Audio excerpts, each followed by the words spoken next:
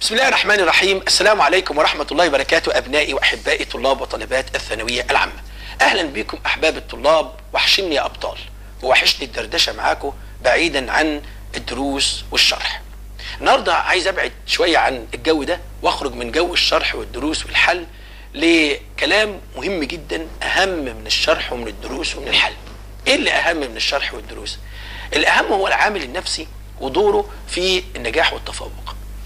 طلبة كتير الأيام دي قبل الامتحانات كل ما يقرب الامتحان بقى وألاقي طلبة كتير الأيام دي تتصل بيا وتقول لي أستاذ أنا خايف. أعمل إيه؟ أنا متوتر جدا والتوتر والقلق مش مخليني عارف أذاكر. معقول يا أستاذ ما عادش فاضل إلا أيام قليلة وأخش امتحان ثانوية عامة. معقول يا أستاذ الحقيقة لما الطالب بيقول لي كده أنا بجرجره بقى في الكلام زي ما هجرجرك دلوقتي معايا في الكلام فرد عليا كده زي ما الطالب بيرد عليا كأن أنا بكلمك في التليفون يعني. انت خايف. طيب خايف من إيه؟ يا أستاذ خايف من إيه؟ خايف من امتحان ثانوية عامة. طب خايف ليه؟ خايف ليه من الامتحان؟ خايف ليه من الامتحان يا أستاذ؟ خايف. أيوه خايف ليه من الامتحان يعني ما تقول. قول كلم كلم تحدث أعلن مخاوفك. ما هو دي أول طريق للسيطرة على الخوف أن تعلن هذه المخاوف. المخاوف ديت ممكن تعلنها شفوي الأستاذ في التليفون لحد بترتاح له في التليفون قول أنا خايف من إيه؟ على فكرة مش مهم الطرف اللي بيسمع الطرف اللي بيسمعك يقدم لك حل. كونك أعلنت مخاوفك ده إلى حد كبير زي ما بيقول علماء النفس بيقلص من حجم الخوف شوية. دي حقيقة. مش عايز تعلنها شفوي اكتبها. يعني قول أنت دلوقتي مثلا ممكن تمسك ورقة وقلم تقول أنا خايف. أنت خايف من إيه؟ ها؟ خايف من إيه؟ خايف من خايف خايف أنسى يا أستاذ. يعني طلبة كتير جدا يقول لك إيه؟ أنا خايف أنسى كل المواد. أنا أنا بحس أستاذ إن أنا بنسى كل حاجة. طيب وخايف من إيه كمان؟ خايف آه مثلا آه خايف ما اجيبش مجموع يا أستاذ. خايف يجيني سؤال صعب ما أعرفش أحله. آه خايف ما اخشش الكلية اللي أنا عايزها. ها؟ كمان قول كمان كمل ها؟ خايف أزعل بابا وماما. كل ما هي دي مخاوف كل الطلاب خايفة من الكلام ده. مش أنت لوحدك اللي خايف من الكلام ده. فاذا أنت مش حالة خاصة. هي حالة عامة عند كل الناس اللي داخلين امتحان مهم في حياتهم ويمثل نقطة فارقة في حياتهم. وكلام أيوه فعلا يمثل نقطة فارقة. فأنت بالنسبة لك كون إن هو يمثل نقطة فارقة وتحديد مصير وتحديد مستقبل فده اللي مخوفك من الامتحان.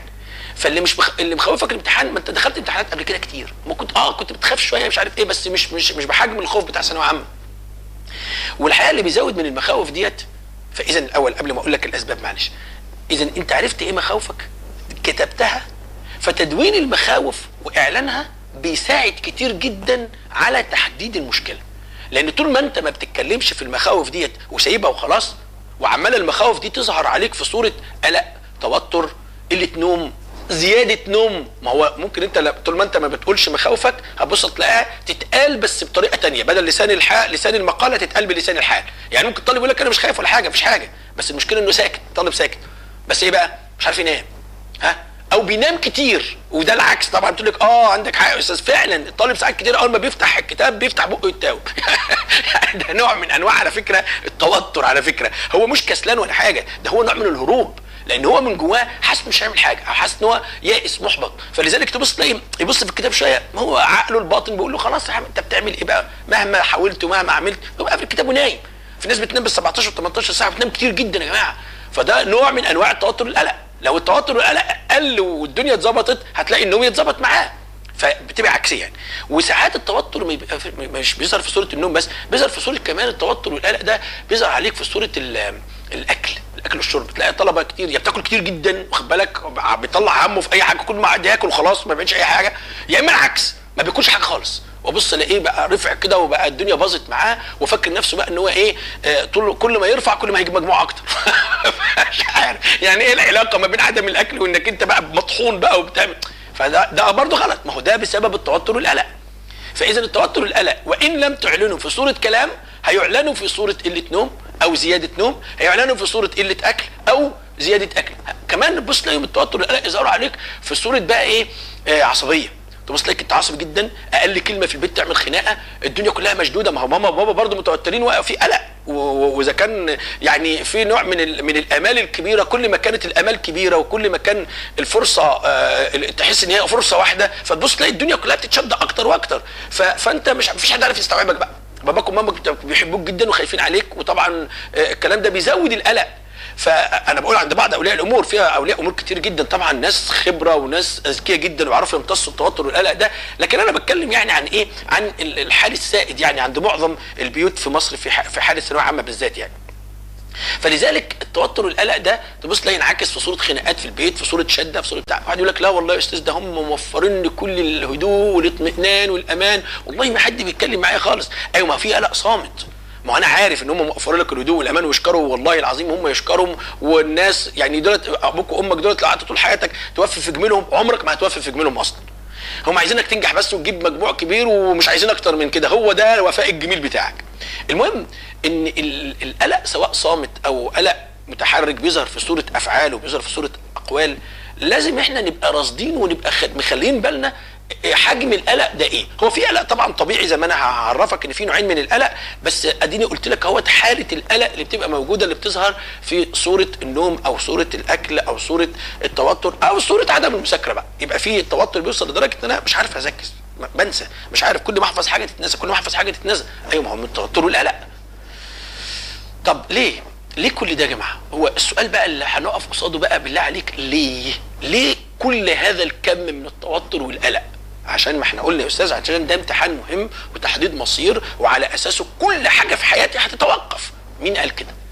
الأول كده بالله عليكم حطوا امتحان ثانوية عامة ده في حجمه عشان ما نكبرش الموضوع ونفضل نضرب الحاجة في عشرة وفي مية وفي ألف لغاية ما الحاجة تبقى أكبر مننا جدا وتكلنا مين قال إن تحديد المصير بتاعك في ثانوية عامة؟ أي نعم أنا لا أنكر أهمية هذه الفترة لكن أنا ببص نظرة شوية اطلع بس شوية معلش خدني على قد عقلي بس كلمتين كده. مين قال إن مصيرك كله في ثانوية عامة بس؟ اولا مصيرك كله بايد ربنا سبحانه وتعالى. ثانيا الكلية اللي أنت مصر تخش عليها ومتشبث تخش في تخشها ديت آه، مش هتخشها إلا بإذن الله سبحانه وتعالى. بص مهما عملت ومهما خدت بالاسباب ومهما لو الله عملت إيه وربنا مش رايد مش هتخشها. ولو ربنا رايد وأنت ربنا هيسر لك الأسباب وهتخش وهتبص تلاقيك تمشي فيها إن شاء الله. بس المهم تعرف النقطة دي الأول. اولا ثانوية عامة يا جماعة مش هي اللي بتحدد مصير البني آدم. لأن الحياة أوسع من ثانوية عامة. وأقول لكم جملة مهمة قوي ياما ناس فشلت في ثانوية عامة ونجحت في حياتها جدا جدا وبقوا مشاهير وبقوا آه، اغنياء وبقوا لهم كلمة في البلد ولو أنا بقولها عشان بس من إيه من من من ما نفكرش إن هي فرصة واحدة بس لا الفرص كتير والنجاح كتير وإن الله واسع عليم يا شباب. فاذا يا جماعة ثانويه عامه مش هي الوحيدة سبب نجاحك في الحياة. في حاجات كتيرة ممكن تسبب لنجاحك في الحياة غير ثانوية عامة. النظرة دي بثانويه عامة بتخليك تسيطر عليها وبتخليك تخش الكلية اللي أنت عايزها. لكن كونك تشبث دماغك إنك لو ما دخلتش الكلية دي ولو ما حققتش الحلم ده يبقى الدنيا وقفت وباظت وانهارت يبقى أنت كده بتحكم على نفسك بالانهيار من البداية. لأن أنت مش ضامن تخشها. مفيش حد ضامن يعمل حاجة يا جماعة. يعني ما- أي حد في الدنيا بيعمل حاجة بيعمل مشروع بيخطط له بي... بي... أي حد في الدنيا مش ضامن النهاية ولا ضامن النتيجة. والله ما حد ضامن. يعني انت لو لو واحد راكب طيارة من هنا لأمريكا هو مش ضامن يوصل هو ركب الطيارة بس ضامن يوصل الله أعلم بقى. ممكن 100 حاجة تحصل في الجو صح ولا لأ؟ فلذلك يا شباب إنك أنت تصر وتتشبث وتتخيل إذا انهار هذا الهدف تنهار كل الحياة. دي نظرة خاطئة للغاية ودي نظرة مختزلة للحياة. الحياة مش كده ربنا أوسع من كده بكتير والحياة واسعة من كده بكتير. إن الله واسع عليم. دي نظرة مهمة جدا عشان نقلص شوية من حجم الثانوية العامة. وأقول لك تاني ها ياما ناس نجحت في ثانوية عامة وفشلت في حياتها. وياما ناس فشلت في ثانوية عامة ونجحت في حياتها. دي مش دعوة للفشل في ثانوية عامة لا دي دعوة لوضع الأمور في نصابها. طيب. آه كمان عايزك تعرف آه إن من ضمن أسباب القلق دي عشان ما هو العلاج بيجي من معرفه الأسباب. من ضمن أسباب القلق دي بجد آه اللي حواليك شوية. يعني تبص تلاقي مثلا آه ممكن بعض أولياء الأمور يقولوا لابنهم إحنا حاطين أملنا كله فيك. يا نهار أبيض على الكلمة دي يا جماعة. الكلمة دي صعبة قوي على الطلاب. بالله عليكم رسالة لكل ولي أمر. بلاش الكلمة دي للطلاب. أنا عارف مدى تأثير الكلمة دي خصوصا الطلاب اللي عندهم يعني حساسين يعني الطلاب اللي هم عندهم بيختزنوا الكلام ده وبيبقى الجميل عالي قوي وهو نفسه يوفي لابوه وأمه أي حاجة تفرحهم. فالكلمة دي لما بتتقال الأب والأم فاكرينها نوع من أنواع الشحن. هي مش شحن خالص يا جماعة بالعكس ده هي نوع من أنواع التفجير. ليه؟ لأنه بي- بيحدث جوه الطالب نوع من المسؤولية الكبيرة قوي على دماغه. يا جماعة سيبوها لله. يعني الطالب يقول لك أنتوا بتقولوا أملنا في الكبير. يا نهار أسود طب افرض ما حققتش الأمل ده بقى. افرض بقى هيبقى شكلي إيه بقى قدامهم بقى؟ فبلاش الكلمة دي يا جماعة وبلاش تحميل الطالب فوق طاقته. إحنا نقول للطالب كلمة غير دي نقول له اعمل اللي عليك والباقي على ربنا. فعلا هو صح اعمل اللي عليك بس اعمل اللي عليك ذاكر ما تاثرش حل كتير آه ما تضيعش وقت. آه, آه ده نقوله له آه. لكن لكن نقول له أملنا فيك كبير وأنت الأمل والمنى والدنيا والاحلام لا لا خالص. طالب كده الطالب أصغر من إن إحنا نحمله كل هذه المسؤولية خصوصا الطلاب بقول لكم اللي عندهم نوع من الضمير وعندهم نوع من المسؤولية. كمان من ضمن أسباب القلق اللي, اللي نخلي بالنا منها عشان نتجنبها أو بمعنى الأصح نحاول قدر الإمكان حتى لو تعرضنا ليه نبقى عارفين إن عادي يعني سيبك الكلام ده غلط يعني المدرسين. بعض المدرسين للأسف الشديد بيفضلوا يشحنوا الطلاب ويقول لهم ده الامتحان هيجي صعب ده أنتوا هتشوفوا أيام سودة ده أنتوا ده أنتوا مش عارف نموذج ده الوزير الفلاني قال مش عارف إيه ده المسؤول الفلاني. في مدرسين بتبقى غاوية كده غاوية التسخين ده وغاويه بقى إيه نوع من أنواع ما يصدقوا بقى إيه يعني يسخنوا في الناس وي ويتعبوا في الطلاب يعني. في والله مدرسين غاويين كده يفضل يعذب الطالب بهذا الكلام. وفاكر إن هو لما يعذبه كده بالكلام ده انه الكلام ده بقى هيشحذ الطالب وأول ما يسمع بقى إن الامتحانات جاية صعبة وإن هو مش عارف إيه فالطالب هيروح بقى يخاف ويذاكر. يا جماعة لأ بالعكس. ياما الكلام ده بيجيب الأثر العكسي عند الطلاب. يعني تفضل تقول لي صعب امتحان صعب. إذا كنت أنت أستاذ المادة وبتقول لي الامتحان صعب إذا كنت أنت القائد بتاعي وبتقول لي إن المهمة صعبة جدا ومش عارف إيه. أيوه ما هو المهم المهمة صعبة آه بس أنت كقائد بتاعي ما تقعدش تقول لي المهمة صعبه أقعد تقول لي ده إن شاء الله ربنا يسهل ما تخافوش يا أولاد أنا مش أنا مش بضحك عليك بس بقول لك فعلا ما تقلقش. اعمل اللي عليك يلا نحل نضيع الوقت بدل ما تقول له الامتحان صعب حل مع امتحانات كتير. فدي برضو رسالة. لإخواني الأساتذة. أرجوك يا جماعة ما تقولوش للطلاب تقعدوا تقولوا لهم الامتحان صعب والى آخره. واقعد تفكروا إن الكلام ده بيشحذ الطلاب. الكلام ده يا جماعة بيوتر الطلاب جدا. فانتبهوا لهذا الكلام. برضه من ضمن أسباب القلق بقى اللي بتزود القلق وفي الفترة دي بالذات بقى تلاقي الطالب ساكن وهادئ كده وربنا هديه وتلاقي مثلا بابا أو ماما أو أي حد جاي من بره جايب معاه جورنان. الجورنان ده فيه بعض التمرين قول له خد. ما هو انت عارف بقى هديتك الأيام دي إيه؟ مش باكو شوكولاتة بقى ولا تورتة ولا هديتك الأيام أي حد عايز يهديك الأيام دي إيه بقى؟ في طالب ثانويه عامه قبل الامتحانات داخل لك بحاجة من السوق. وياما السوق مليان بقى. إيه مش عارف المراجعة النهائيه اللي فلان. مش عارف كتاب الايه في المراجعة النهائيه كتاب 100 حاجة. أنت رحت عند بتاعة الجرايد هتلاقي كل الحاجة اللي محطوطة عنده أصلا بتاعت ثانويه عامه في المراجعة. فتلاقي كل واحد عايز يهديك هدية وهو جاي يجيب لك الهدية الجميلة الميمونة بقى اللي يقول لك إيه؟ خد الهدية. تلاقي المكتب بتاع الطالب بقى إيه؟ عارف يتكدس بالأوراق من جميع أنواع الجرائد والكتب والمجلات والى اخره ده غير بقى كمان اللي بيتجمل على الإنترنت. طبعا أنت عارف دلوقتي بقى الإنترنت يا دوبك أنت خش بقى جوجل وابحث بقى وتلاقي أمور كده فاضية شوية يقوم يقعد بقى ويجيب للطالب كل ما لذ وطب من على الإنترنت. فتخيل الحجم اللي ممكن يطبع من على الإنترنت إيه فكرتوني بطالب بيقول لك يا أستاذ أنا ما برتاحش إلا لما بجيب المذكرات اللي على الإنترنت كلها وأذاكرها في النص. يا نهار أبيض. طبعا تخيل بقى كم هذه الفوضى هذه الفوضى دي فوضى معلوماتية يا جماعة. اللي بيحصل ده بقى الطالب يمسك اولا المنظر ده أصلا منظر متعب جدا. عارف زي ما يكون موظف وحواليه مليون ملف ولازم يعملهم منظر محبط. طب الحاجات بقى اللي بتزود القلق انه يمسك المصادر دي معظمها بقى مصادر غير مسؤولة مصادر من الآخر كده يا جماعة بيزنس يعني هو منزل شوية أسئلة في موسم عشان يلم له قرشين. الأسئلة دي إيه بقى؟ هي الأسئلة اللي بيعرضها بقى له خمس سنين ست سنين. هي اياها بيروح يصورها ويشيل بس اللي اتحذف من المنهج ويحط حاجة بداله بس. وده معظم الجرايد بتعمل كده بقى. وتلاقي الطالب يلاقي أسئلة مش موجودة في الكتاب أنبه بالله عليكم انتبهوا لهذا الأمر يلاقي أسئلة مش موجودة أصلا وأس... أو أسئلة بقى إيه واحد بقى عارف إيه عبقرينه وعمال بقى يعمل يلف السؤال يمين وشمال بقى علشان يجيب السؤال يجيب التايهة بقى في السؤال بقى فتلاقي الطالب يقرأ السؤال إيه ده؟ إيه الأسئلة؟ أنا بذاكر طول السنة عمري ما شفت الأسئلة الغريبة دي، لا ال... الأشد بقى ال... يعني الأكثر حزنا بقى الطالب يلاقيه إمتى؟ لما يبص على الإجابة يبص على الإجابة يلاقي إجابة عمره ما شافها. يعني السؤال عمره ما شافه والإجابة كمان عمرها ما شافها. فيبدأ بقى يقول لك يا نهار أسود أنا عمال أذاكر طول السنة وفي الآخر ألاقي أسئلة لا أنا عارف السؤال عايز إيه ولا أنا الإجابة شفتها قبل كده. طبعا الكلام ده بيعمل بقى بيعمل مش مصيبة مصيبة عند الطلاب في, في الأيام ديت عشان طبعا بيذاكر من مصدر غير مسؤول. هو هو اللي عمل في نفسه كده. أنت أنت ذاكرت من مصدر غير مسؤول من الآخر. طب الحل إيه يا أستاذ؟ الحل يا جماعة بالله عليكم كأولياء أمور كطلاب مهما كان حرصكم على النجاح والتفوق آه بلاش نخرج عن ثلاث أربع مصادر. هم دول أقسم بالله العظيم وبقولها على الملأ لن يخرج عنهم الامتحان. أي حاجة بره الكلام ده صدقوني غير مسؤولة. إيه الثلاث أربع مصادر دول يا جماعة. كتاب المدرسة. بالله عليكم يا جماعة اللي عايز يجيب الدرجة النهائية في أي مادة يلتزم بكتاب المدرسة. تصريحات الوزارة بتقول كده. امتحانات ثانوية عامة بتقول كده. نموذج الإجابة بيقول كده. دليل التقويم بيقول كده. فيا جماعة بالله عليكم بلاش. انت ليه ليه ليه قدامك الحل وسايبه وعايز تروح يمينا ويسارا؟ ليه عايز تشرق وتغرب؟ ليه يا ابني؟ ليه؟ ده ده رغبة في إيه يعني؟ رغبة في, في الإتقان؟ لا ده فوضى بقى معلوماتية. وهيأديك إنك تسير بقى في كل سبيل شوية. فارجع تاني كتاب المدرسة. كتاب المدرسة. كتاب المدرسة. الحاجة الثانية آه امتحانات ثانوية عامة. انت عندك خليك من 2000 يا أخي من 2000 لغاية دلوقتي شوف عندك كام امتحان ثانوية عامة. اضرب كل سنة امتحانين يعني بتاع حوالي 26 امتحان. فيا جماعة امتحانات كتير. امسك امتحانات ثانوية عامة دي ونموذج الإجابة بتاعهم يكون معاك اللي بتاع المدرسة. كتاب بتاع نموذج الوزارة برضه مش بيحطوا جورنان ها؟ ولا بيحطوا كتاب خارجي غير مسؤول. نموذج الإجابة اللي كان نازل أيام التصحيح وإحنا بنصحح. وعلى فكرة موجود عندي على موقع بنذاكر dot com نموذج الإجابة وممكن تلاقيه عندي على صفحتي على الفيسبوك. لو عايز نموذج الإجابة في اللغة العربية موجود أنا أنا اوفره لك آه امتحانات ثانوية عامة ونمو- ونموذج الإجابة بتاعهم غاية في الخطورة. لأن بتيجي بت... الأسئلة بتتكرر. الأسئلة بتتكرر بالنص. ما هو يا جماعة ما هو أنتوا لازم تفهموا إن المنهج احترق أسئلة. يعني من كتر الأسئلة اللي فيه خلاص الممتحن نفسه بيغلب على بال ما يجيب سؤال جديد.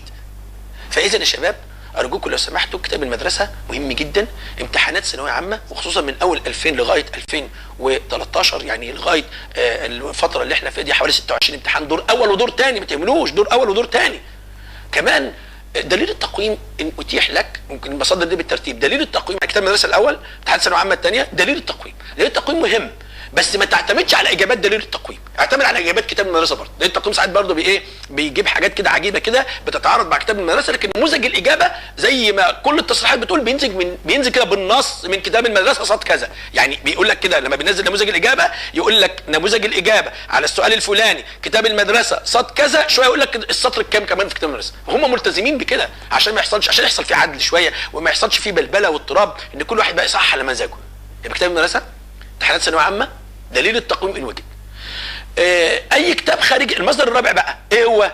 أي كتاب خارجي ملتزم بهذا الكلام ايا كان هذا الكتاب أي كتاب خارجي ملتزم بهذا الكلام ما بيزودش ولا بينقص وفي الإجابة بتاعته بيلتزم بكتاب المدرسة. الحتة دي على قد ما حتة بسيطة بديهية إلا إن كنتوا في وسط زحمة المعلومات وزحمة الآراء وزحمة الاقتراحات بتتوهوا تتوهوا فسيبك بقى من الجرايد وسيبك بقى من أي حاجة أنت بس ذاكر واتكل على الله وركز في اللي بقوله ده. وأي سؤال غريب أي أقول تاني أهو أي سؤال غريب تلاقيه اعرف إن اللي حاطه بيتفزلك عليك فقول له مش وقت فزلكة أنا مش ناقصك.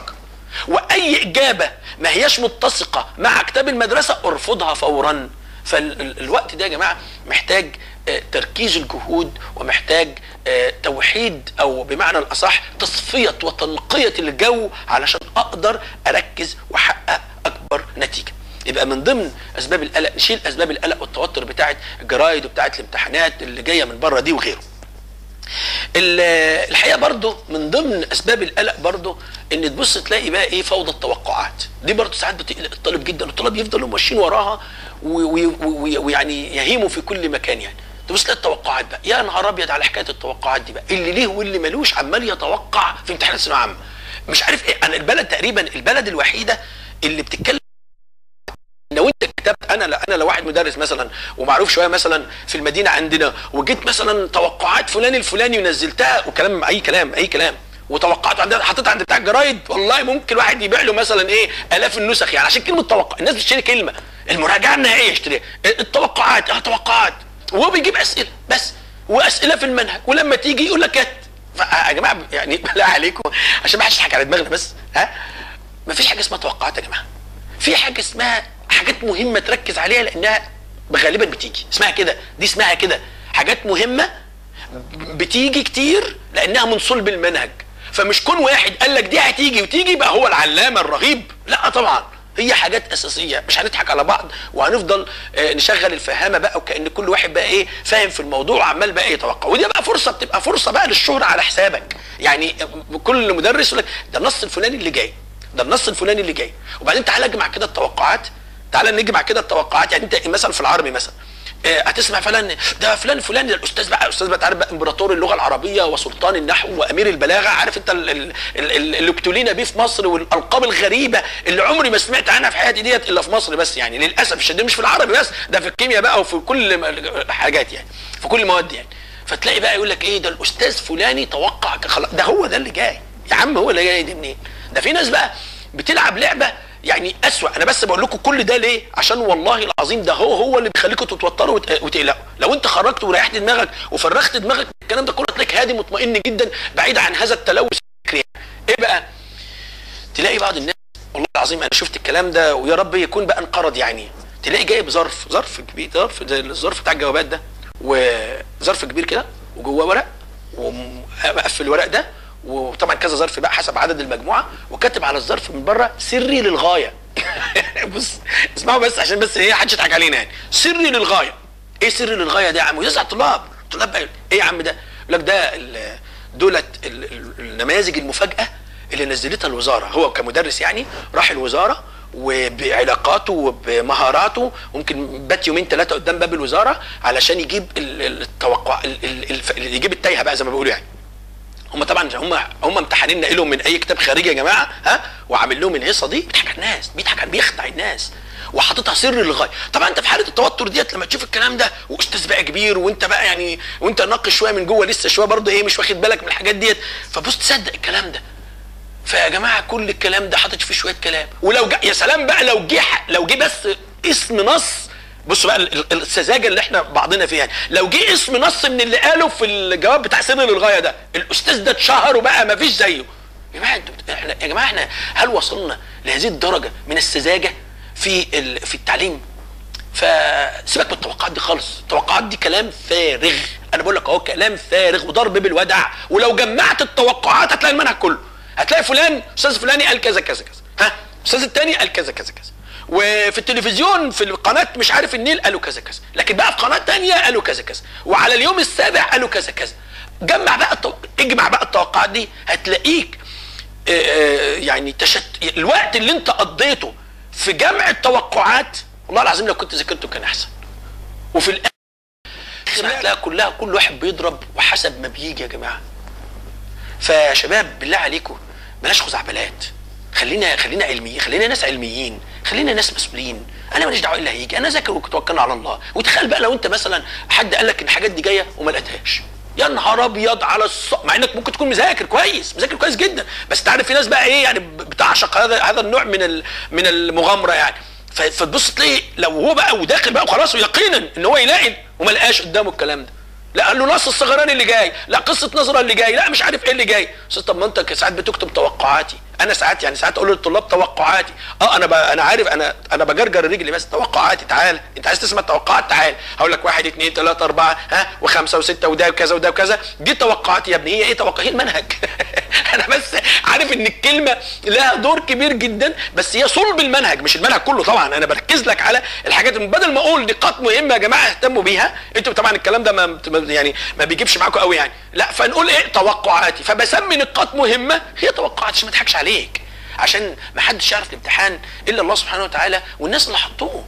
فأي حد بيقول بعد كده بقى بتبقى صدف. لدرجة يا جماعة أنا والله العظيم يعني سمعت حكايات في التوقعات ديت عجب عجب. أنا سمعت مرة واحد بيقول لي أستاذ ده إحنا عندنا آه، شيخ في البلد في البلد الله أعلم البلد إيه مش عارف. بيقول لي الراجل ده بيتوضى وبيحلم بثانوية عامة. إيه تاني كده؟ بيتوضى وينام عشان يحلم بامتحان ثانوية عامة. أقسم بالله هذا الكلام سمعته. تخيلوا مدى حتى كمان الدجل في امتحان ثانوية عامة. الراجل ولي من أولياء الله الصالحين فبيتوضى ويحلم شوف يحلم ربنا بقى بيلقي في روعه ال- ال- الامتحان ثانوية عامة يقوم يقولوا للناس بقى دجل وشعوذة وجهل طبعا الكلام ده ما بيمشيش بس إلا في إيه؟ إلا في بعض ال- الأماكن الأمية فيها كتير يعني بصراحة يعني. ومش معقول أنت امي يعني أنت راجل متعلم وراجل بتفهم فما تديش دماغك لحد. آه فمن ضمن أسباب القلق حكاية التوقعات دي يا جماعة. ال- الحاجة كمان اللي اللي بتسبب أو بتزود القلق قوي عند الطلاب هي مسألة قلة النوم. العكس بقى. يعني ممكن الطلاب يكونوا عادي هو هادي كويس بس هو مسحوم وعايز يعمل حاجات كتيرة يقوم يعمل إيه بقى؟ يفضل آه، شغال شغال شغال وينام ساعتين ويقوم وثلاث ساعات ويقوم وأربع ساعات ويقوم. فهو عايز يخلص وعايز يعمل. طيب كويس ماشي. ده ده ده ده مجهود ربنا يعينك. آه بس النوم القليل ده هينعكس عليك في منتهى الخطورة. النوم القليل اوعى تفكر اللي انت بتاخده من نومك هتوفره. لا ده فجأة بسبب قلة النوم هتلاقي نفسك أعصابك مشدودة جدا. ما أنتش عارف تحفظ كلمة. كلمة. أنت ماشي ثلاث أربع أيام شغال ومدغدغ نفسك بس جيت في وقت خلاص الدنيا قفلت معاك. ما أنتش عارف تعمل حاجة. تلاقي تعمل إيه بقى؟ تروح نام بالثلاث أيام. ما هي ما هو الجسم بص هو ربنا سبحانه وتعالى مدي للمخ ومدي للجسم ده معامل أمان. أول ما أنت تزود عليه قوي يقوم يفصل. عارف زي زي التيار الكهربي كده واللي بتاع ال- الأمان بتاع الكهرباء؟ أول ما الكهرباء تزيد عن حد معين تقوم فاصل هو ده مخك وده جسمك. هيفصل هيفصل منك. ليه أنت توصل نفسك لغرض ان ما تفصل؟ ليه؟ ليه ما نمشيش بالتوازن والتوزيع. التوزيع المجهود يعني. بص ما, تنا... ما فيش حاجة اسمها تنام أقل من ست ساعات. ست ساعات خمس ساعات ماشي. لكن هتنزل عن كده بقى يا جماعة لا يعني ده حتى العبادة يا جماعة ربنا سبحانه وتعالى يعني ممكن لغاية نصفه ماشي ثلثه ماشي ها يعني قوم الليل إلا قليلا مش كده ولا لا قليلا ده بقى قالوا أربع ساعات خمس ساعات. فلازم نحافظ على الأربع خمس ساعات خصوصا في سنك ده لازم تنام لأن غذاء المخ النوم ده غذاء المخ المخ ده لو ما نامش تلاقي الدنيا تبوظ. يا جماعة الناس بقى اللي ناوية بقى إيه ليلة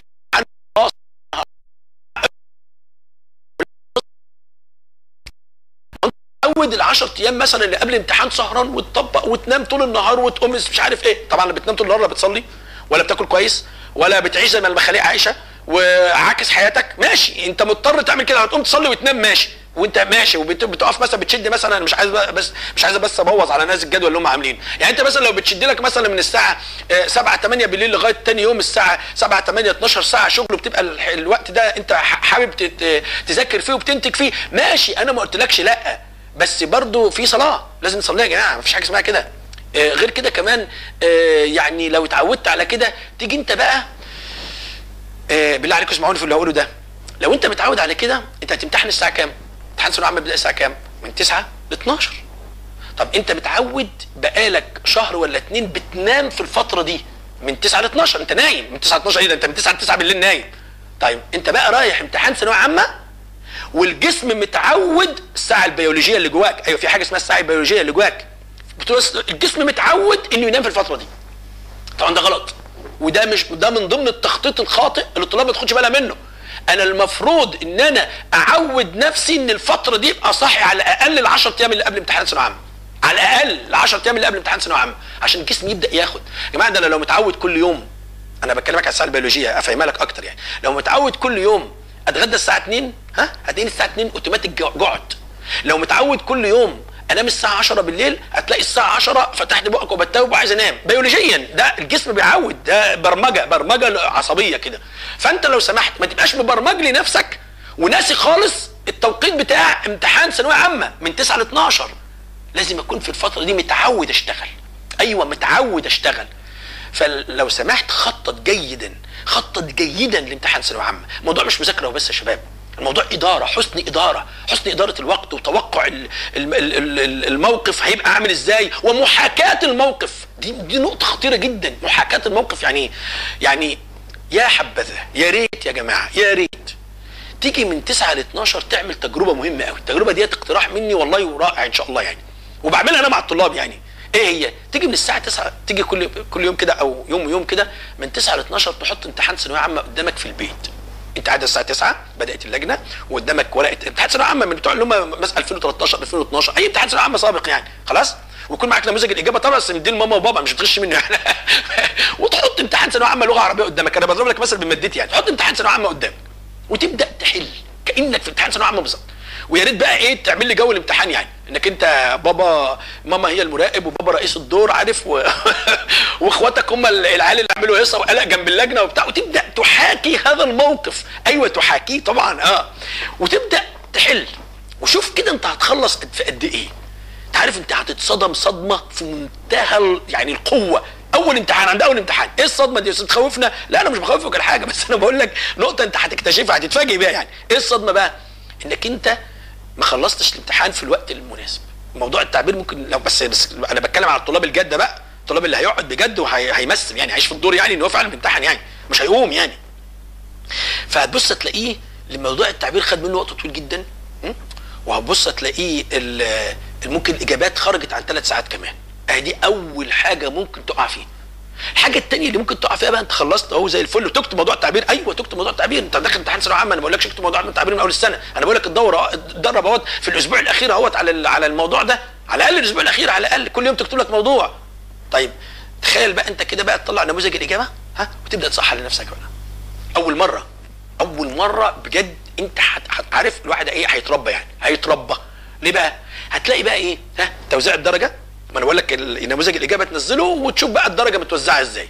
هتلاقي توزيع الدرجة أو أنت اخ يعني كل خطأ اعمل عليه درجة. كل خطأ تقريبا بدرجة أو بإيه؟ بدرجتين كده. تقوم أنت ماسك الدرجات كده وموزعها. وشوف بقى الإجابات الناقصة عندك قد إيه. شوف الأسئلة اللي أنت نسيتها قد إيه.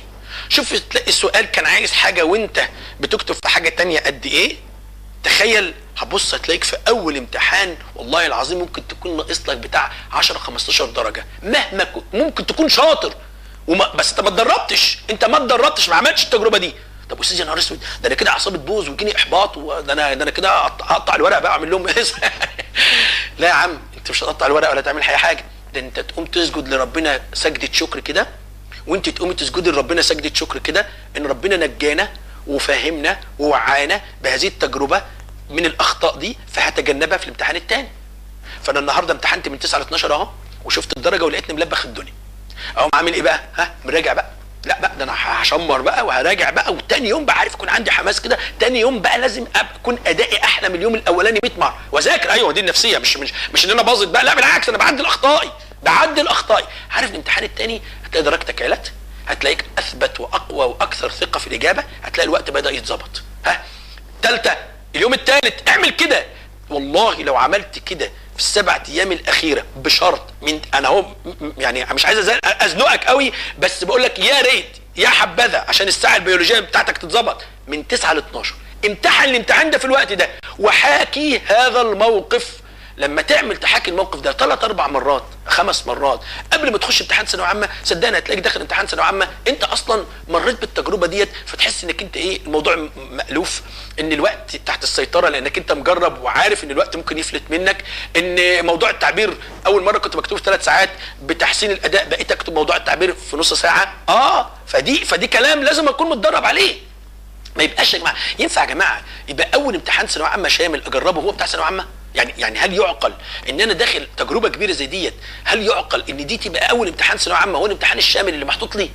يعني يبقى بجد ده نوع من أنواع ال- الفوضى وعدم التخطيط سوء التخطيط يعني. ده سوء تخطيط. ده اللي بيعمل مسرحية يا جماعة مسرحية. أو بيعمل آه، حلقة في التلفزيون أو برنامج أو حاجة بيتدرب بيعمل بروفات. وبروفا مرة واثنين والمخرج يقول مرة واثنين وثلاثة وأكشن تاني مرة وأكشن. مش بتسمع أكشن تاني مرة وأكشن ثالث مرة. اعمل أنت يا عم أكشن تاني مرة وثالث مرة. لغاية ما المشهد يتظبط معاك. أنا بتكلم بجد. مش هيتظبط معاك من أول مرة. عمره ابدا ما يتظبط معاك من أول مرة. فيا ريت حتى لو أنت بتمتحن مرة امتحان حلو مرة امتحان وحش أنت بتستفيد. كل ده بتعدي إيه يا شباب؟ بتعدي الأخطاء. فدي من ضمن الحاجات اللي آه تخليك بتضيع وقتك مش في القلق والتوتر بتضيع وقتك في تجارب حقيقية ودي آه نقاط مهمة للغاية. آه، آخر حاجة أحب آه، أأكد عليها وأنصح بيها هي آه، جوه اللجنة يا جماعة. جوه اللجنة بالله عليكم اوعوا اوعوا تقعوا في أخطاء قاتلة. والله العظيم جوه اللجنة ده بيحصل أخطاء قاتلة قاتلة بمعنى كلمة قاتلة. قاتلة لإيه يعني؟ قاتلة لمستقبلك. ليه بقى؟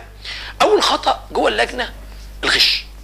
الغش ده أنا قعدت أتكلم فيه من هنا لبكره هتكلم كتير قوي مش هيخلص الوقت. بس أنا مش عايز أطول عليكم. أنا بس بقول لك إيه تجنب هذه الأشياء لأنها في منتهى الخطورة. الغش عارفين إن هو يعني ده إدمان عند بعض الطلاب يعني. يعني حتى لو عارف عايز يغش. عارف هو حابب إيه هو بيستلذ هذا هذا الطريق. اولا الغش يا جماعة حرام. بصوا عشان بصوا كل المواق- المقاييس هتجيبها لي يمين هتجيبها لي شمال حتى روح اسأل الأزهر اسأل كده خد فتوى من الأزهر هيقول لك الغش حرام من غشنا فليس منا. هتقول لي عن التجارة؟ لا النبي صلى الله عليه وسلم ال- اللفظ بعمومه ولا ب- وليس بخصوصه. مش حاجة خصصت اللفظ. النبي صلى الله عليه وسلم قال إيه؟ من غشنا في التجارة فليس منا. النبي صلى الله عليه وسلم أطلقها. فمن غشنا فعلا ليس منا. وعمر ما الحاجة الحرام فيها بركة. الحاجة الحرام عمرها ما فيها بركة. أنت عايز زيادة المجموع؟ عايز زيادة الدرجات والله العظيم بحلف لك بالله ربنا ما هيبارك لك لا في مجموعك ولا هيبارك لك في مادتك ف... فان كونك إنك أنت بقى داخل تغش أو أو تغشش على فكرة الاثنين الاثنين حرام. كونك بتغش من حد أو بتغشش حد أنت في الآخر بترتكب آه، مخالفة شرعية وفعلا حرام يا جماعة شرعا. آه، وكمان غير شرعا في نقطة خطيرة جدا الغش ده أقسم بالله بيغلط. يعني ساعات طلبة كتير جدا بيبقى حالل صاحبه وبص تلاقيه يجي يسمع من اللي حواليه يقوم شاطب الإجابة بتاعته ومفترض إن هو اللي غلط واللي حواليه العباقرة ويقوم شاطب الإجابة بتاعته وكاتب الإجابة الغلط. إيه شعورك بقى لما تطلع من لجنة ها؟ وتعرف إنك كنت كاتب صح وزميلك هو اللي كان كاتب غلط. إيه إيه شعورك عايز تخنقه بقى. ما هو بس أنت تستاهل عشان ده أول عقاب للغش. فالغش بينقص وبينقص كتير. آه الغش كمان ممكن يعمل لك مشكلة كبيرة مع المراقب ويوترك. سواء بتغشش أو بتغش. يعني ممكن واحد طالب يقول لك عارف بقى طلبة كده من بعد من أول لجنة يمكن آه فلان يا فلان يا فلان. طبعا أنت صاحبك بقى وحبيبك بقى وصاحبتك بقى مش عايز تطلع وحشة معاه يعني. فنعم نعم دي يقول لك تعالى عايزين بقى في أول يوم يشدوا اللجنة بقى ويعملوا بقى فالانضباط كله بقى. يجي الانضباط كله ده بقى تبقى أنت كبش الفداء للانضباط بقى بتاع اللجنة. تعالى أعمل لك محضر غش من حقه من حقه. فدي كارثة. تخيل بقى بلاش يعني خليه يا سيدي انت قعدت تعيط وقعدت معلش والحكاية يكفي توتر كمية توتر الأعصاب والرعب اللي انت عشته. في وقت انت أصلا المفروض بتجمع طاقتك كلها علشان ربنا يكرمك. فلا ترد على حد ولا تنادي حد. آه، استهدى بالله كده واقعد وقول اللي عندك وربنا هيكرمك إن شاء الله رب العالمين. وبقولها تاني اللي بيغش زي اللي بيغشش. هيزعل مني يا أستاذ لو ما غششتوش. هو حر. يزعل. اللي يزعل من الحق يطق ام بجد يزعل من يطق يعني بكل المقاييس دنيويا غلط عليا لأن المراقب اللي واقف ده ممكن يعمل لي مصيبة. خلاص كده؟ ودينيا غلط. يبقى أنت يعني أنت يعني يعني تخسر اتنين. يعني يا جماعة يعني بالله عليك وفي مقابل إيه؟ في مقابل الجدع. هي دي الجدعنه؟ دي مش جدعنه والله العظيم ما هي جدعنه. آه، آخر ربع ساعة الدنيا بتفك بقى لوحدها بقى. بتحصل كده يعني. اوعى الر- الربع ساعة دي من أخطر الأوقات في الامتحان. لأن ياما طلبة بتغير إجاباتها في الربع ساعة الأخيرة. اثبت على اجابتك. طالما انت مذاكر ومتأكد منها خلاص اثبت على اجابتك. حتى وإن وجدت وجهة نظر أخرى اثبت على اجابتك. ليه؟ والله لو طلعت غلط ما هو انت شاك ما هو انت الأمر محير. يعني انت يعني مش مثلا اكتشفت إن هي فعلا انت غلط وتيقنت إن غلط. تيقنت إن غلط دي بقى يبقى انت بقى إيه يعني اعتبرها بقى إيه صدفة يعني. ما آه ما هو أصل في فرق ما بين ان أنا قصد اغش وببص في ورقة اللي جنبي أو بطلع ورقة ده ده ده, ده غش قصدا. وإن أنا سمعتها صدفة يعني. سمعت كلمة كده صدفة يعني أنا مش قاصد يعني. فده بقى أنت مالكش ذنب فيه حتى شرعا أنت مالكش ذنب فيه. فأنت لقيت إن الكلمة اللي سمعتها صدفة ديت متعارضة مع اللي أنت كاتبه وتيقنت فعلا افتكرت فعلا أنت غلط لا دي بقى غيرها بقى. يعني دي فعلا بقى هتغيرها هتغيرها يعني. لكن الأمر محير بقى. يعني الأمر أنت سمعت الكلمة وأنت لا أنت متأكد من إجابتك. لا أنا مذاكرها كده أنا سامعها من الأستاذ كده. مثلا يعني خليك بقى على إجابتك. طالما الأمر محير خليك على إجابتك. ليه؟ لو طلعت من اللجنة ولقيت نفسك غلط ساعتها مش هتزعل قوي لأنها مش من حقك أصلا. أنت أنت غلطت فيها مش من حقك. هتزعل على إيه؟ هتتحسر على إيه؟ حاجة مش من حقك مش بتاعتك أصلا. طب لو لقيت نفسك بقى أنت اللي صح يا يا منتهى الثقة وال- والحمد لله هتحمده ساعتها لربنا سبحانه وتعالى. فعشان كده بقول لكم يا شباب الغش من أخطر الحاجات اللي ممكن تحصل في اللجنة يا جماعة. غش اوعى. ال- الحاجة ال- كمان اللي بتحصل في اللجنة وممكن تعمل لك مشكلة جامدة هي القلق اللي ممكن يحصل بره اللجنة أو جوه اللجنة. اوعى تفكر إنك رايح تمتحن في فندق خمس نجوم. أنت رايح تمتحن في مدرسة قديمة ازازها مكسر معظمنا يعني معظم مدارسنا أنا بتكلم على العام يعني. مدرسة قديمة ازازها مكسر ممكن تبقى حر و و و والدكة قديمة اللي أنت قاعد عليها وفيها مسمار. عارف؟ فأنا عايزك تهيئ نفسك إنك أنت إيه؟ عارف تتكيف مع الظروف يعني. انت مش رايح مكان مهيئ قوي كده. انت هتتهيأ مع الظروف. طب سيبك من الحاجات المادية دي إحنا متعودين عليها وبقى بنقضيها يعني. طب بقى الهيصة والقلق والخناق والشكل. آه تسمع بقى اللجنه الواحد ساعه ويصرخ ومش عارف يطلع بره. تسمع انت الكلام ده بقى وانت تسمع الكلام ده بقى. بنت بتصوت ولا أغمى عليها وبتاع. فطبعا انت تبص الكلام ده بقى ولا تسمع الكلام ده. طبعا بيوترك. لا لا لا لا. يا عم ده أنا في مهمة مهمة. أنا في مهمة أكبر من كل الهيصة دي. أنا مالي ومال اللي بيحصل بره. اوعى تدي ودنك أو فضولك تعرف إيه اللي بيحصل بره. اللي بيحصل اللي بيحصل بره دي ناس يا جماعة اللي بيعملوا الكلام ده ناس غير مسؤولة. طلاب طلاب عايزين يعملوا هيصة وعملوا قلق وخلاص وعايزين يغشوا بالعافية عايزين يجاوبوا بالعافية. طلاب ما عندهمش ما عندهمش نوع من الأدب واللياقة مع الأساتذة. طلاب واخدينها بالدراع وبالبلطجة. طلاب مثلا إنهياري هو طبعه كده إنه بينهار في كل مكان. فيا جماعة وتسمع بقى إيه آه فلان تلاقي مثلا ممكن قاعد كده في اللجنة كده تلاقي مثلا إيه ناس شايلة بنت ومغمى عليها بنت مثلا في مدرسة بنات ولا حاجة تلاقيهم شايلين بنت مغمى عليها كده ورايحين بقى إيه يودوها عشان يفوقوها. فطبعا أنت أنت يا بنتي تبص للموقف إيه ده؟ دي ضحية من ضحية ثانوية عامة يعني. طنشي طنشي قولي ربنا يشفيها وكملي. أنا معلش ما هو أنا أنا في مهمة مش عايز أي حاجة تخرجني براها. فكونها اغمى عليها الحمد لله إن أنا ما اغماش عليا الحمد لله أنا زي الفل. فملناش دعوة يا جماعة. كل واحد له قضيته الخاصة بيه وكل واحد ليه ظروفه. مجاز هي تعبانة مجاز مريضة مجاز ظرف طارئ بالنسبة لها. مش شرط أنا أنا ماليش دعوة. أنا حاجة وهي حاجة تانية. برضه تبص انت اسمع بقى في مدرسة الصبيان بقى فلان رمى نفسه من الدور الثاني فلان مش عارف أي كل الكلام كل دي احتمالات. لأن أنا بتكلم على مستوى الجمهورية فدي كل دي احتمالات موجودة في مدارس مصر. فما تتفكروش ان أنتوا رايحين مكان بقى موفر لنا كل حاجة. لا ده أنا رايح وعارف ان في ممكن عقبات كتيرة تقابلني منها الفوضى منها بعض الانفلات منها بعض الخناق الكلام ده كله ما يأثرش عليا. وعارف لما انت يكون عندك فكرة ان الكلام ده ممكن يحصل لما يحصل ما تتفاجئش بيه بقى. تبقى انت كده في الامان. يا عم أنا سمعت أستاذ اسامه قال لي الكلام ده هيحصل. شغال شغال. توقع الأمر يجعلك تتفاداه.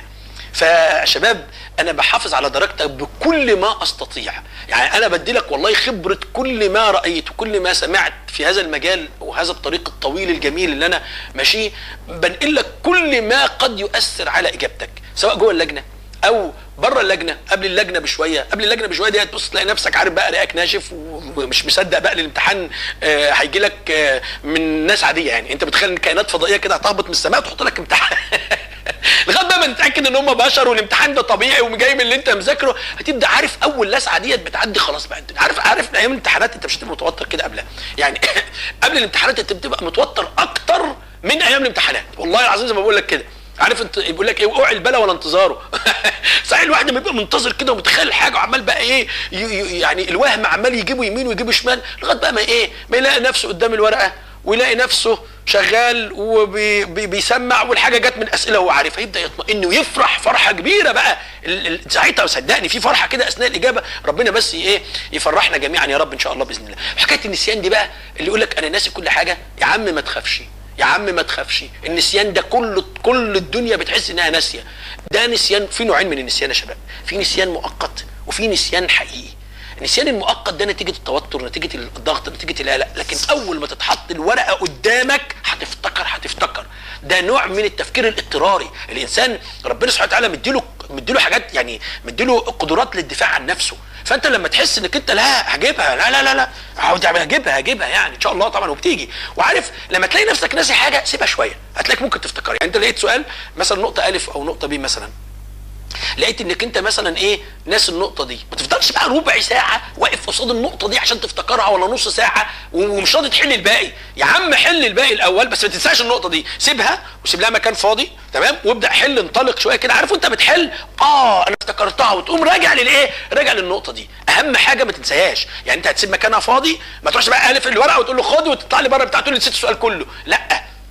يبقى اذا يا شباب تراجع تاني ودي نقطة مهمة جدا. أنت وأنت بتحل الأسئلة بتاعتك ورقة الأسئلة إزاي تتعامل معاها إن أي حاجة يا جماعة تقوم عامل عليها بالرصاص كده. آه بالرصاص كده دوبك صح كده إنك حلتها. آه وساعات السؤال يبقى كذا جزء. فانتبه لكل القضية دي خطيرة جدا.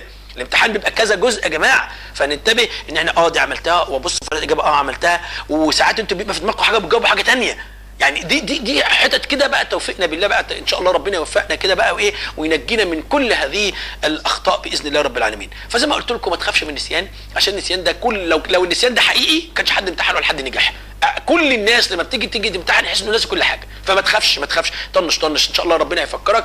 فاللهم ذكرنا ما نسينا وعلمنا ما جهلنا يا رب العالمين.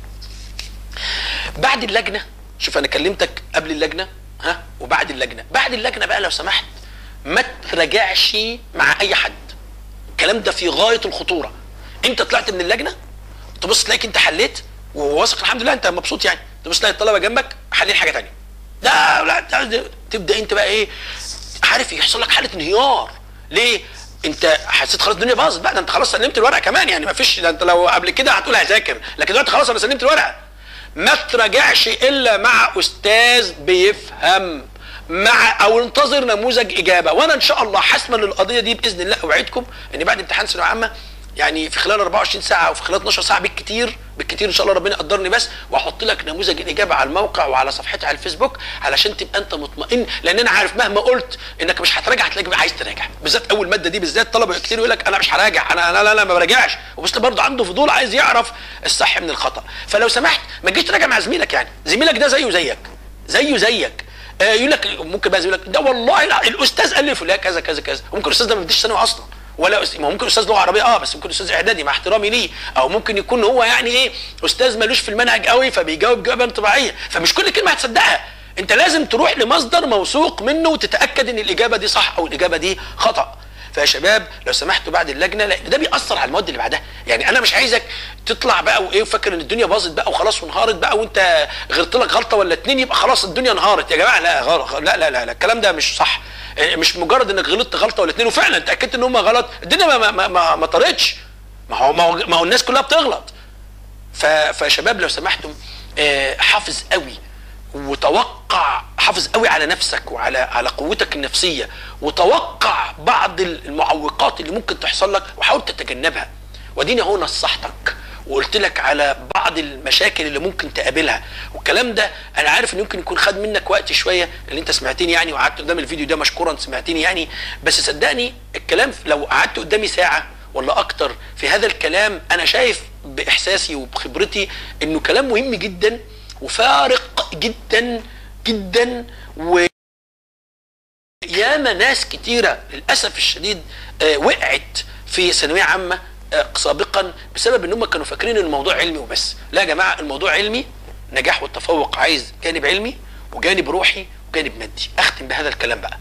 أنت الجانب العلمي إنك تذاكر إنك تمتحن إنك تجرب نفسك وتعالج أخطائك أول بأول إنك ما تسيبش حاجة في المنهج إنك ما تجريش ورا توقعات ده جانب علمي. الجانب الجانب المادي انك تنام كويس وتاكل كويس. بص ده دول حاجتين مهمين جدا.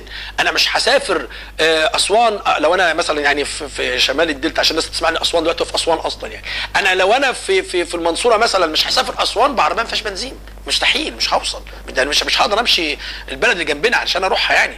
فيا جماعة لازم الأكل الأكل قدر الإمكان. قافلة معاك قوي الأكل خد بص سوائل سكريات مهمة. الكلام ده مش مش كلام هيصة كده لا لا بالعكس. السكريات والفسفوريات مهمة قوي فالحاجات دي نصائح التغذية السليمة وأنا ماليش في التغذية قوي بس بنبه بعض الطلاب لهذه النقطة. نقطة التغذية مهمة جدا يعني. فديت الجانب المادي.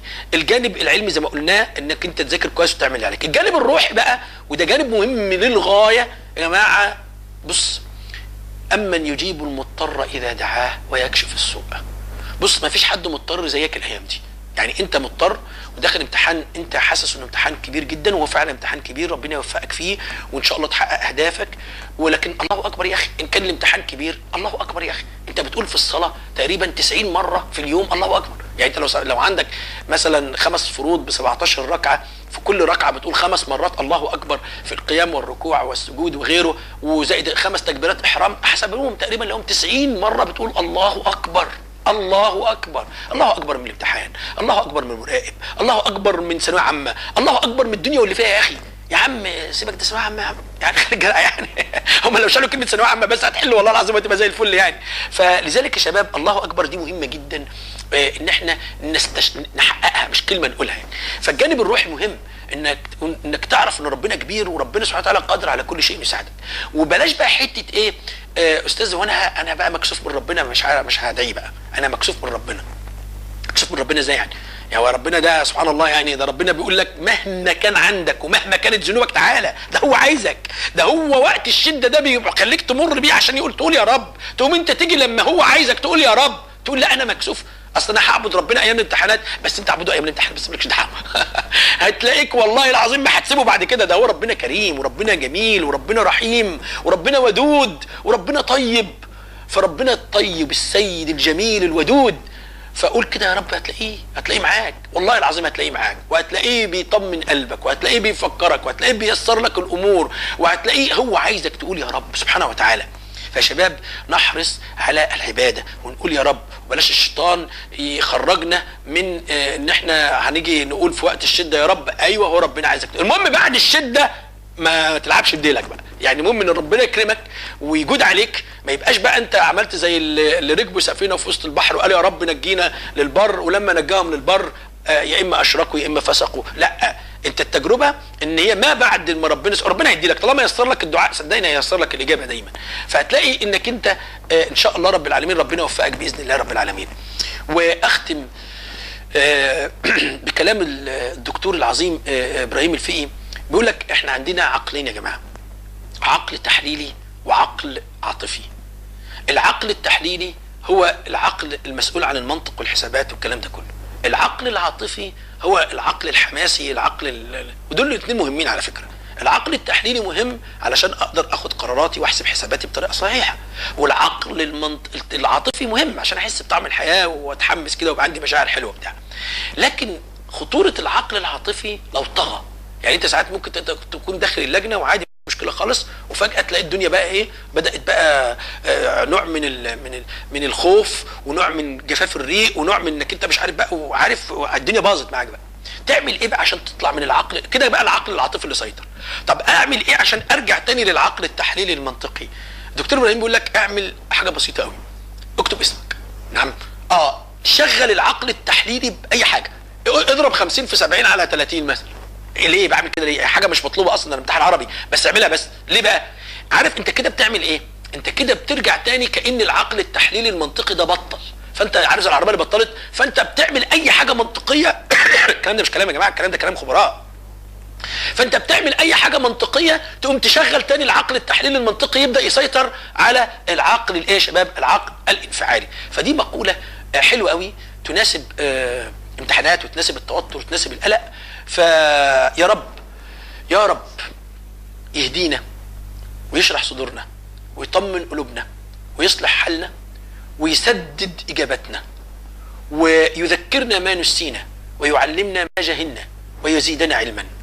نختم بهذه الأبيات الشعرية الجميلة. عبد الله بن أبي رواحة رضي الله عنه وارضاه كان بيقول إيه؟ اللهم لولا أنت ما اهتدينا ولا تصدقنا ولا صلينا فانزلا سكينة علينا.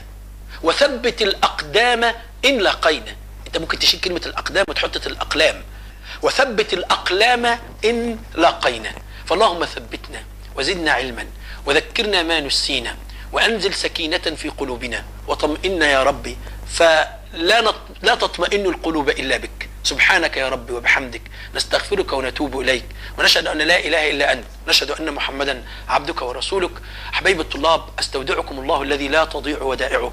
وأدعو لكم بالثبات وبالتوفيق وما توفيقنا إلا بالله. والسلام عليكم ورحمة الله وبركاته.